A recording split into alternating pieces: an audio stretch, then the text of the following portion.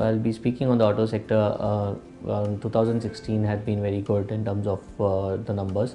Uh, till till October, the festive season was also good. Monsoons were pretty good.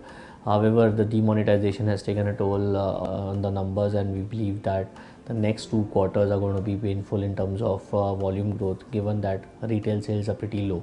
What we think is that uh, the volume the volume recovery could be higher uh, faster in terms of for for two wheelers uh, given the ticket size. Whereas for four wheelers and CVs it could be it take a while given the high ticket size and lack of uh, given discretionary nature of its spending. 2017 our view on autos uh, remains to be uh, neutral to positive.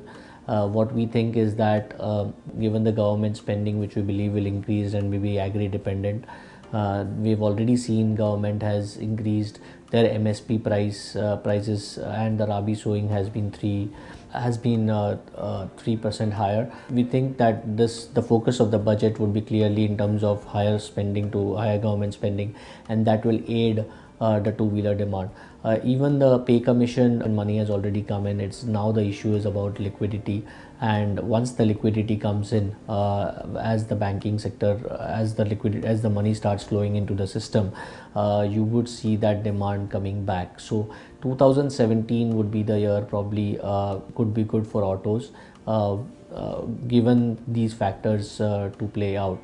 Our own sense is that two wheelers probably could be the gainers uh, whereas uh, four wheelers will take a little while to recover.